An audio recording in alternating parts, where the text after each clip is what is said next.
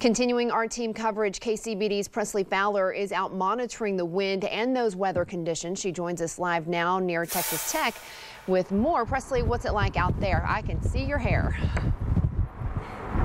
Well, that's right, Christy. I have my hair up, and that doesn't even really help with the blowing. If you are planning outside, you can definitely be prepared for consistently gusty winds. If you can stay inside, that might be the best thing to do. Right now, we're out on top of Raider Park, and take a look at the sky right now out here. You can see campus, but you can also see that layer of haze caused from that blowing dust. Now, just a few things to be aware of if you are about to be driving after work, going home from work, or just out on the roads. You can definitely feel these heavy winds as you're driving. So make sure that you're keeping both hands on your steering wheel to get the most control. And also, if you're following a truck or anything that has a heavy load in the back, just be aware of that. Give yourself some extra space because with these winds, there is a greater chance of things blowing out of the trucks. Again, consistently windy out here near Texas Tech, and we're going to continue to monitor these wind conditions and bring you more later on. Christy? Okay, thanks so much, Presley.